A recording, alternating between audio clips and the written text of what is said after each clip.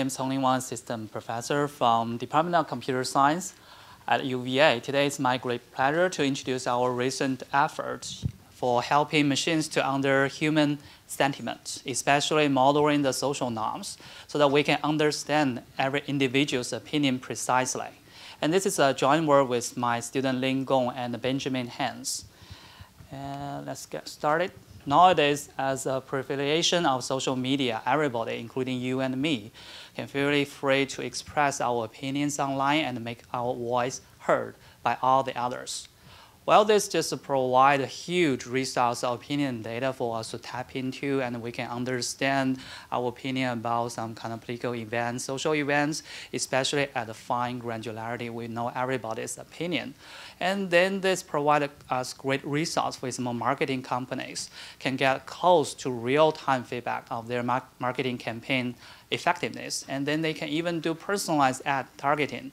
So you will see all those sorts of personalized service because of this data become available. But a prerequisite for us to do that is actually light the machine or teach the machine to understand human sentiment, human opinions. And then this, somehow people simply saying, oh, this is a standard machine learning problem because you can simply create a bunch of training data, right? We can ask the experts to annotate tweets, annotate the reviews, and tell the machine this is positive, this is negative, learn from it.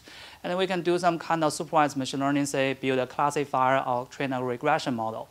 However, here the underlying assumption is everybody's sentiment is the same, or we express our sentiment in the same way. However, this is largely untrue, right? We all know our sentiment or the way we express our sentiment is so different. We're all, all of us so idiosyncratic. We're just variable. We're just not that similar to each other. So this kind of generic machine learning cannot really understand every single individual's opinion precisely. So we need some kind of customization. Usually we call it personalization. We hope we can build a personalized classifier or machine learning algorithm for every individual user. And then a trivial solution is, okay, instead of pulling everybody's data together, can we just segment them? Say train one classifier for every individual. Technically, we can do that if we have enough data. We all believe we're living in the era of big data, so we should have enough. But practically, we still encountering or facing the difficulty of so-called small data.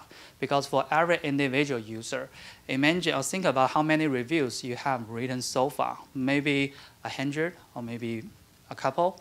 And then for every individual user, we still encounter the sparsity issue. The data we have for every individual is insufficient to train a useful classifier. Therefore, for this kind of personalized sentiment classification seems very difficult, although we know how to do it in a global level. There is some kind of researchers, uh, research has been done. They're just trying to solve it by introducing domain knowledge, by introducing heuristics. For example, we can leverage the relationship between the users. For example, if we believe they are friends in social network, then they tend to share similar opinions on the same topic.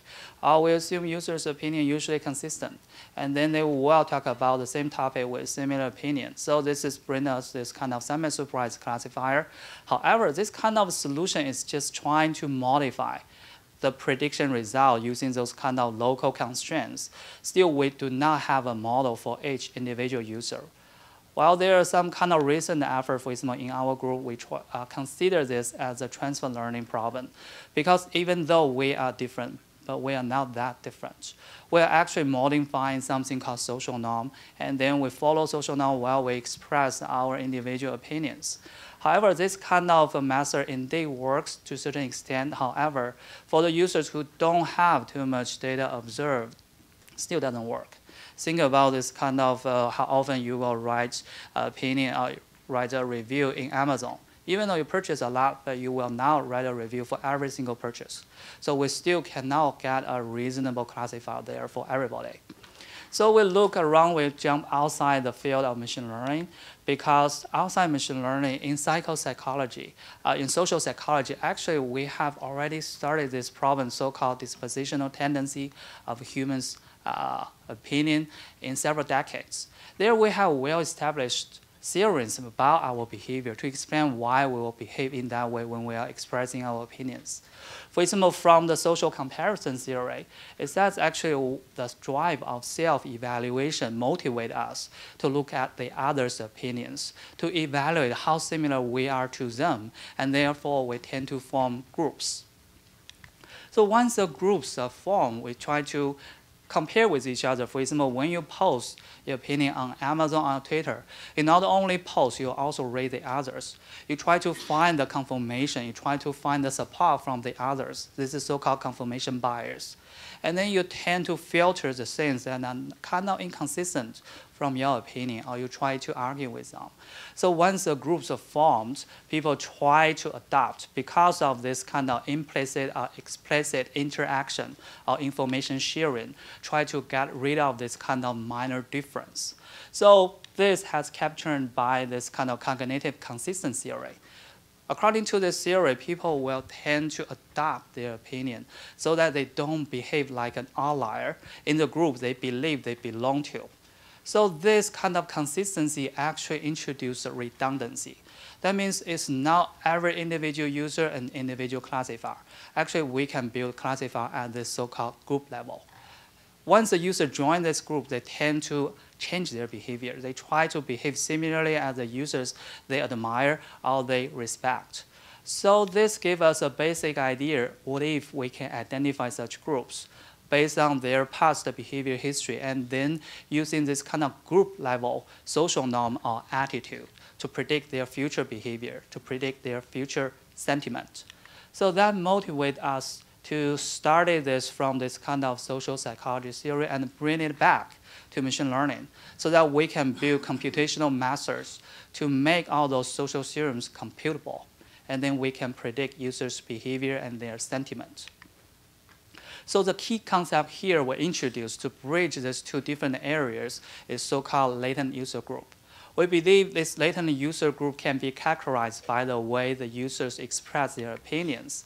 So we assume even though each individual user can be associated with a different classifier for their sentiment, but they decide to join groups, they decide to kind of adopt existing classifiers inside the group. So they tend to change their opinion because they want to join this group. And instead of assuming one user can only belong to one group, we give them the freedom to join multiple groups or treat it as a distribution. So each user is a mixture over this latent user group. And then in order to really characterize what do we mean by uh, sentiment model, here we simply use a generalized linear model called logistic regression to capture or to map the opinion text content to the real sentiment. But our model is not simply limited to logistic regression or any linear model. It's general enough. We only need to give reasonable assessment of likelihood because this is a probability model. And then within each group, instead of saying they will learn their social norm from scratch, we'll see actually they try to adopt because even before you join this group, you have your own way of expressing opinion. You learn it from your common sense or from your experience of interacting with all the people around you. So we believe you will change your opinion, not just totally discard what you have to, uh, you, what you used to do before, but uh, you're doing some kind of adaptation. Imagine this kind of uh, blue arrow indicates some kind of classification hyperplane that represent how you will express your opinion. However, once you join this group, you found this kind of existing social norm can now well explain why people in this group always express opinion in that way. So you try to adapt. You try to make some kind of changes. For example, here we assume you simply tune it by scaling and shifting this hyperplane so that you can best satisfy the group norm. And then we further introduce uh, other constraints to make it uh, more regularized. We, we assume you will now fine-tune each feature individually. You will do them in a group-wise manner as well. So you group all the features and then you change them synchronously. And then this give us advantages that instead of training uh, or estimating those transformation for every single feature, we can estimate for every single feature group. So this greatly reduces the dependency on the data. So we can quickly learn your preferences. And then this gives the highlights of our model to capture this kind of group level uh, social norm. It's just like we believe users will join those groups and each group will have their own uh, preferences of expressing the opinions, and these preferences is adopted from a global model. Well, you might ask, where do we got this global model?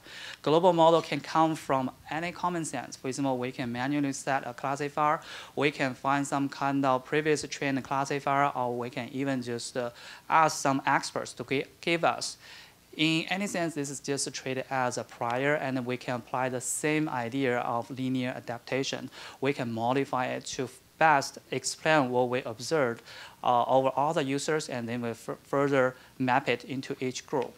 So basically, this is a basic idea in our model. It's just like we cluster those linear model adaptations to reflect this group norm and group attitude. You might ask, okay, who gave you this group? And instead of treating those groups as deterministic or predefined, we appeal to a modern concept in statistics. We call it non-parametric Bayesian. That is, we uh, listen to the data. We ask the data to give us the best group configuration. Basically, we only need to impose some assumptions about the group. For example, we assume they are drawn from the same distribution. And then whenever we need a new group, for example, uh, when a new user joins this community, if the user cannot join all the existing group, we give them the freedom to create a new group for their own. So data will guide the model, say how many groups are there, uh, how the groups should be formed. To give you a basic intuition, if we simply write out the posterior distribution of the groups, you can see actually we have two components here. The first is the force for the user to join the existing group. Basically, user will look at all the existing groups and then decide whether that's the best model. If not, user have the freedom to create his or her new group. So we just keep repeatedly ask everybody to make a choice, and then we will be able to find the grouping for everybody. And then once the model is trained, we'll, only thing we need to do is to predict for the unseen data what is the opinion is positive or negative. In order to do so, we have to first identify the user's group.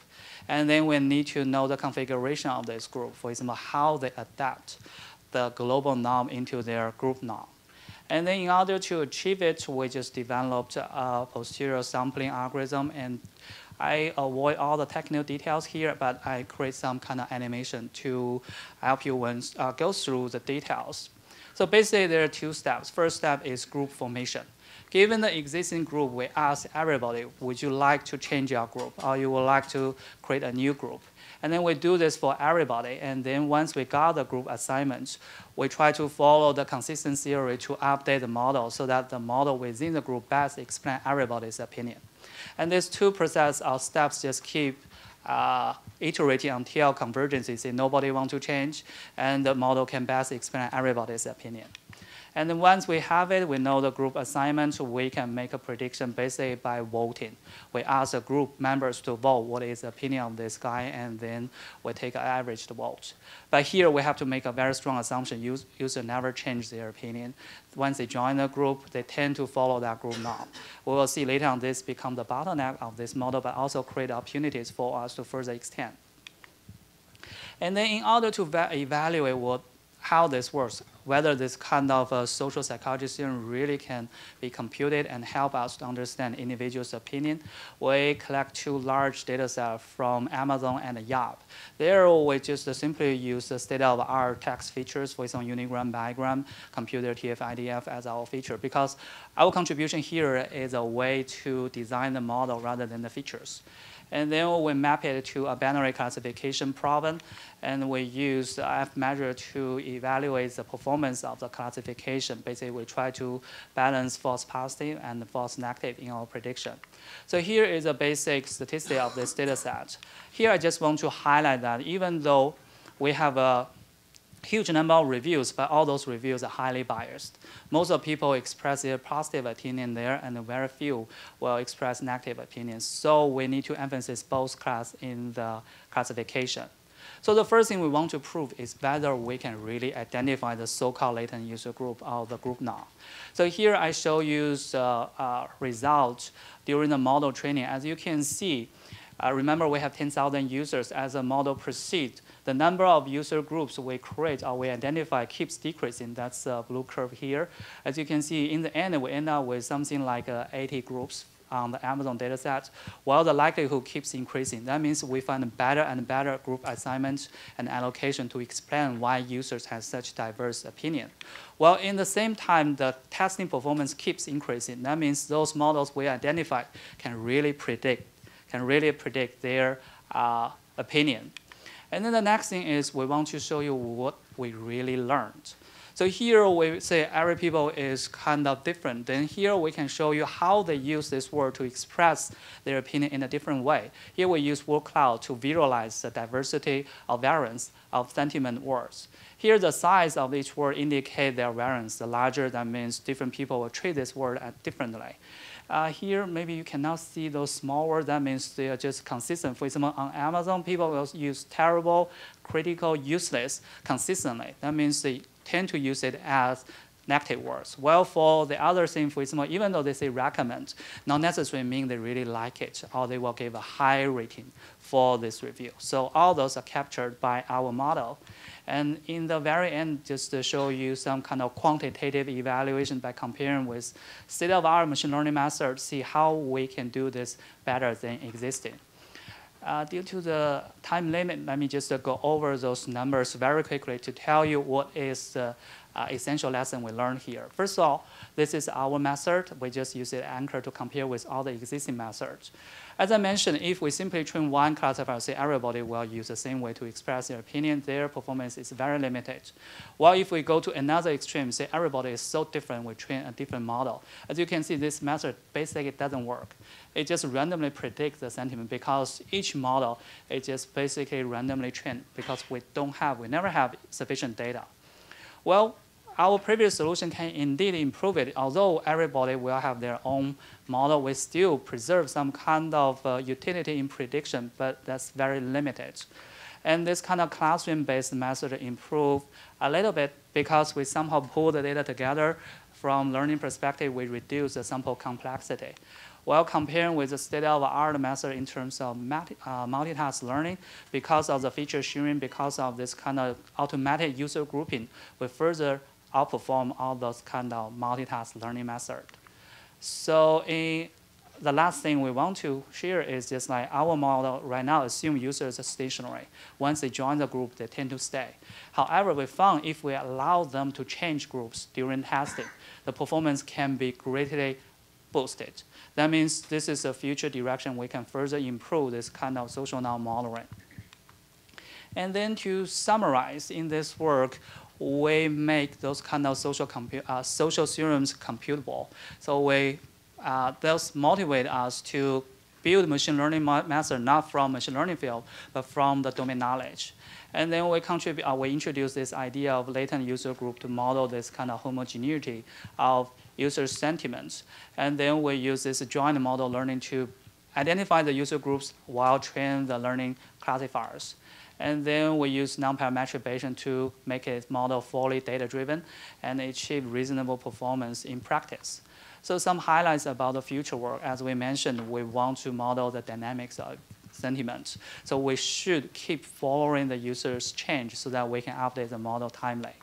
And then right now, we, as we mentioned, we have the so-called feature groups, but the feature groups are somehow not this one. Here we assume user has to contribute one, at least one labeled instance in order for us to understand the sentiment of him or her. We want to further relax this and to model the new users in the system. And last thing is, as I mentioned, uh, feature grouping is some, somehow right now manually determined. We want to learn it jointly. And the last thing I just didn't list it here is sentiment analysis should be in a proactive way. That means we can pitch the user, say, can you tell me your sentiment rather than wait there passively collecting their data. This will be a new interesting idea uh, to understand humans' uh, sentiment. So that's the references in this talk. We have made everything public available. If you're interested in our work, you can go to our homepage and download the code and test it on your uh, problem domains. That's it. Thank you.